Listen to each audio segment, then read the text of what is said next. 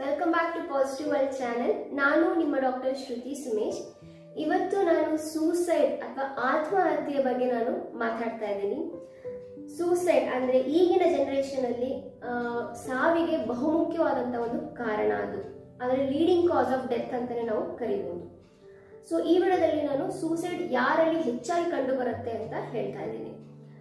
So ಮೊದಲನೇದಾಗಿ ಗಂಡಸರು ಸೂಸೈಡ್ನ ಮಾಡಿಕೊಂಡು ಆತ್ಮಹತ್ಯೆಗೆ ಒಳಗಾಗಿ ಮೃತ್ಯುವಿಗೆ ಶರಣಾಗೋದು ಹೆಚ್ಚಾಗಿ ಕಂಡು ಬರುತ್ತೆ ಅಂದ್ರೆ ಹೆಂಗಸರಿನ ಕಂಪೇರ್ ಮಾಡಿದ್ರೆ ಗಂಡಸರಲ್ಲಿ ಮೂರು ಪಟ್ಟು ಹೆಚ್ಚಾಗಿ ಕಾಣಿಸ್ಕೊಳತ್ತೆ ಬಟ್ ಈ ಹೆಂಗಸರಲ್ಲಿ ಸೂಸೈಡ್ಗೆ ಪ್ರಯತ್ನಗಳು ಹೆಚ್ಚಾಗಿ ನಡೀತಾ ಇರುತ್ತೆ. ಮತ್ತೆ ಗಂಡಸರಲ್ಲಿ ಮೋಸ್ಟ್ ಕಾಮನ್ ಆಗಿ, ಅಂದ್ರೆ ರಿಸರ್ಚ್ ಪ್ರಕಾರ ನೋಡೋದಾದ್ರೆ ಅವರು ಹ್ಯಾಂಗಿಂಗ್ ಅಂದ್ರೆ ನೇತ್ ಹಾಕೊಳ್ತಕ್ಕಂಥದ್ದು, ಮತ್ತೆ ಹೈಟ್ ಇಂದ ಜಂಪ್ ಮಾಡೋದು, ಮತ್ತೆ ಫೈರ್ ಆರ್ಮ್ಸ್ ಅಂತಾರೆ ಗನ್ನಿಂದ ಹೊಡ್ಕೊಂಡು ಸಾಯುವಂತ ಸಾಧ್ಯತೆಗಳು ಹೆಚ್ಚಾಗಿರುತ್ತೆ.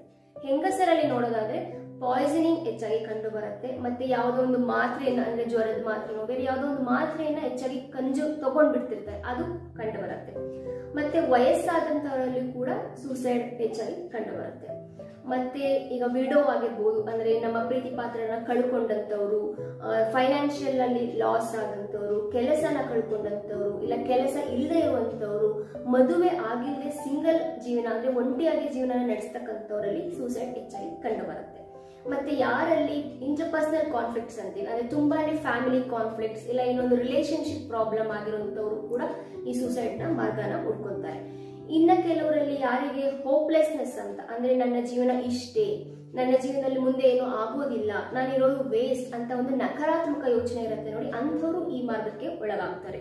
ಅಂದ್ರೆ ಈಗ ಏನೋ ಒಂದು ಪ್ರಾಬ್ಲಮ್ ಇರುತ್ತೆ ಅನ್ಕೊಳ್ಳಿ. ಓಕೆ ಈ ಪ್ರಾಬ್ಲಮ್ಗೆ ಸೊಲ್ಯೂಷನ್ ಇಲ್ಲ. ನನಗೆ ಮುಂದೆ ಏನು ಜೀವನ ಕಾಣಿಸ್ತಾ ಇಲ್ಲ. ನನಗೆ ಮುಂದೆ ಕಾಣಿಸ್ತಾ ಇರೋದು ಬರೀ ಸೂಸೈಡ್ ಮಾಡ್ಕೊಳ್ಳೋದು ಅಂತ ಯಾರಲ್ಲಿ ಯೋಚನೆ ಇರುತ್ತೆ ನೋಡಿ, ಆ ಥರ ಇದ್ದಂಥ ವ್ಯಕ್ತಿ ಸೂಸೈಡ್ ಮಾಡ್ಕೊಳ್ಳೋ ಸಾಧ್ಯತೆ ಹೆಚ್ಚಾಗಿರುತ್ತೆ.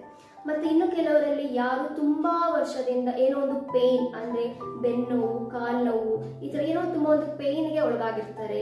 ಇಲ್ಲ ಯಾವುದೊಂದು ಕ್ರಾನಿಕ್ ಡಿಸೀಸ್ ಅಂದ್ರೆ example H I V cancer ಯಾವುದೇ ಆಗ್ಬೋದು, ತುಂಬಾ ವರ್ಷಗಳಿಂದ ಟ್ರೀಟ್ಮೆಂಟ್ ತಗೋತಿರ್ತಾರೆ. ಅಂಥವ್ರು ಇದು ಸಾಕಾಯ್ತು ನನಗೆ ಟ್ರೀಟ್ಮೆಂಟ್ ಇಂದ ಏನು ಯೂಸ್ ಇಲ್ಲ, ತುಂಬಾನೇ ಪೇನ್ ಇದೆ ಅಂತ ಈ ಸೂಸೈಡ್ ಅಂದ್ರೆ ಜೀವನ ಎಂಡ್ ಮಾಡ್ಕೊಳ್ಳೋದೇ ಒಳ್ಳೇದು ಅಂತ ಈ ತರ ಅಟೆಂಪ್ಟ್ ಮಾಡ್ಕೊತಾ ಇರ್ತಾರೆ. ಇನ್ನ ಕೆಲವು ಸೈಕ್ಯಾಟ್ರಿಕ್ ಡಿಸೀಸ್ ಅಂದ್ರೆ ನಮ್ಮ ಮಾನಸಿಕ ಕಾಯಿಲೆಗಳಿದೆ ನೋಡಿ, ಅಂದ್ರೆ ಡಿಪ್ರೆಷನ್ ಒಳಗಾಗಿರ್ತಕ್ಕಂಥವ್ರು ಕೆಲವರು ಸೈಕೋಸಿಸ್ ಪೇಷಂಟ್ಗಳು ಕೂಡ ಮತ್ತೆ ಮಾದಕ ವಸ್ತುಗಳನ್ನ ಬಳಸ್ತಾ ಇರ್ತಾರೆ ಕೆಲವರು. ಅಂತವ್ರು ಈಗ ಮಾದಕ ವಸ್ತುನ ಬಳಸಿ ಆ ಮಪ್ಪಿನಲ್ಲಿ ಕೂಡ ಅವ್ರಿಗೆ ಗೊತ್ತಿಲ್ಲದೆ ತಮಗೆ ಅರಿವೇ ಇಲ್ಲದೆ ಸೂಸೈಡ್ ಮಾಡ್ಕೊಳ್ತಕ್ಕಂಥ ಸಾಧ್ಯತೆ ಕೂಡ ಇದೆ. ಇನ್ನು ಕೆಲವು ಪರ್ಸನಾಲಿಟಿ ಡಿಸಾರ್ಡರ್ಸ್ ಅಂತ, ಅಂದ್ರೆ ವ್ಯಕ್ತಿತ್ವದ ತೊಂದರೆಗಳು, ಅಂದ್ರೆ ಕೆಲವರು ಇಂಪಲ್ಸಿವ್ ಆಗಿ, ಅಂದ್ರೆ ಏನು ಹಿಂದೆ ಮುಂದೆ ಯೋಚನೆ ಮಾಡಿದ್ರೆ ಡಿಸಿಷನ್ ತಗೊಂಡ್ಬಿಡ್ತಾರೆ. ಸಡನ್ ಆಗಿ ನಾನು ಸತ್ತೋದ್ರೆ ಬೆಟರ್ ಅಂತಾರೆ. ಸೊ ನಾನು ಸಾಯೋದ್ರಿಂದ ಏನ್ ನನಗೆ ಲಾಸ್ ಅಂತ ಯೋಚನೆ ಮಾಡಕ್ ಆಗ್ತಿರಲ್ಲ ಅವ್ರಿಗೆ ನಾನು ಈ ತರ ಮಾಡೋದ್ರಿಂದ ಏನ್ ನಷ್ಟ ಅಂತ ಯೋಚನೆ ಮಾಡೋಕ್ಕಾಗಲ್ಲ, ಅಂಥವ್ರು ಈ ಸೂಸೈಡ್ನ ಮಾಡ್ಕೊಳ್ತಾ ಇರ್ತಾರೆ.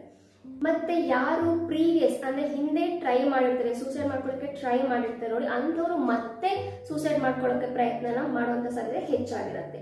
ಮತ್ತೆ ಯಾರ ಕುಟುಂಬದಲ್ಲಿ ಯಾರೋ ಒಬ್ರು ಸೂಸೈಡ್ ಮಾಡ್ಕೊಂಡಿರ್ತಾರೆ ನೋಡಿ ಅಂತ ಕುಟುಂಬದಲ್ಲಿ ಮತ್ತೆ ಸೂಸೈಡ್ ಆತ್ಮಹತ್ಯೆಗೆ ರಿಪಿಟೇಷನ್ ಆಗುವಂತ ಸಾಧ್ಯತೆಗಳು ಹೆಚ್ಚಾಗಿರುತ್ತೆ. ಇಷ್ಟೆಲ್ಲ ಜನರಲ್ಲಿ ಸೂಸೈಡ್ ಅಥವಾ ಆತ್ಮಹತ್ಯೆಗಳ ಪ್ರಯತ್ನ ಕೂಡ ಜಾಸ್ತಿ ಇರುತ್ತೆ.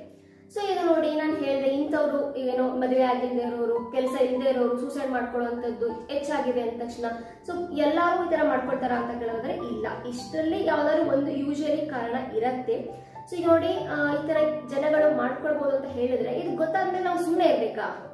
ನೀವೇನು ಹೇಳ್ತೀರಾ ಫ್ರೆಂಡ್ಸ್ ಡೆಫಿನೆಟ್ಲಿ ಸುಮ್ಮನೆ ಇರ್ಬೇಕು ಅಂತ ಹೇಳೋದಿಲ್ಲ. ಸೊ ಈ ಸೂಸೈಡ್ ಅಥವಾ ಆತ್ಮಹತ್ಯೆನ ತಡೆಗಟ್ಟೋದು ತುಂಬಾನೇ ಮುಖ್ಯ.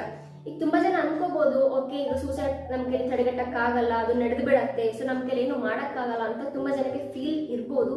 ಬಟ್ ಫ್ರೆಂಡ್ಸ್ ನಾನ್ ಹೇಳೋದು, ತುಂಬಾನೇ ಸೂಸೈಡ್ನ ನಾವು ಗುರುತಿಸಿದ್ರೆ, ಓಕೆ, ಇಂಥ ವ್ಯಕ್ತಿ ಆತ್ಮಹತ್ಯೆ ಮಾಡ್ಕೊಳ್ಳುವಂತ ಸಾಧ್ಯತೆ ಇದೆ ಅಂತ ನಾವು ಗುರುತಿಸಿದ್ರೆ, ಅದನ್ನ ನಾವು ಡೆಫಿನೆಟ್ಲಿ ತಡೆಗಟ್ಟಬಹುದು ಅಂದ್ರೆ ಆ ವ್ಯಕ್ತಿ ಸೂಸೈಡ್ ಮಾಡ್ಕೊಳ್ಳೋದನ್ನ ನಾವು ನಿಲ್ಲಿಸಬಹುದು ಸೊ ಅದನ್ನ ನಾವು ವಾರ್ನಿಂಗ್ ಸೈನ್ಸ್ ಅಂತೀವಿ. ಅಂದ್ರೆ ಯಾವ ವ್ಯಕ್ತಿಯಲ್ಲಿ ಈ ವಾರ್ನಿಂಗ್ ಸೈನ್ಸ್ ಅಂದ್ರೆ ಈ ಲಕ್ಷಣಗಳಿರುತ್ತಲ್ಲ, ಅಂಥವನ್ನ ನಾವು ಐಡೆಂಟಿಫೈ ಅಂತ ಗುರುತಿಸಿದ್ರೆ ನಾವು ಸೂಸೈಡ್ ತಡೆಗಟ್ಟಬಹುದು ಅದ್ ಸೊ ನನ್ನ ನೆಕ್ಸ್ಟ್ ವಿಡಿಯೋದಲ್ಲಿ ನಾನು ಈ ಲಕ್ಷಣಗಳು ಯಾವ, ಅಂದ್ರೆ ಈ ವಾರ್ನಿಂಗ್ ಸೈನ್ಸ್ ಅಂದ್ರೆ ಯಾವ ಲಕ್ಷಣ ಇದ್ದರೆ ಸೂಸೈಡ್ ಮಾಡ್ಕೊಳ್ಳುವಂತ ಚಾನ್ಸಸ್ ಇದೆ ಅಂತ ನಾನು ನೆಕ್ಸ್ಟ್ ವಿಡಿಯೋದಲ್ಲಿ ಹೇಳ್ತೀನಿ. ಹಾಗೆ ನೆಕ್ಸ್ಟ್ ವಿಡಿಯೋದಲ್ಲಿ ನಾನು ಸೂಸೈಡ್ ಬಗ್ಗೆ ಕೆಲವು ಲೀಗಲ್ ಆಗಿ ಆಕ್ಟ್ಸ್ ಬಂದಿದೆ. ಅಂದ್ರೆ ಕಾನೂನು ಮೂಲಕ ಒಂದಷ್ಟು ಆಕ್ಟ್ಸ್ ಗಳಿದೆ. ಅದರ ಬಗ್ಗೆನೂ ಕೂಡ ನೆಕ್ಸ್ಟ್ ನಾನು ಮಾಡ್ತೇನೆ.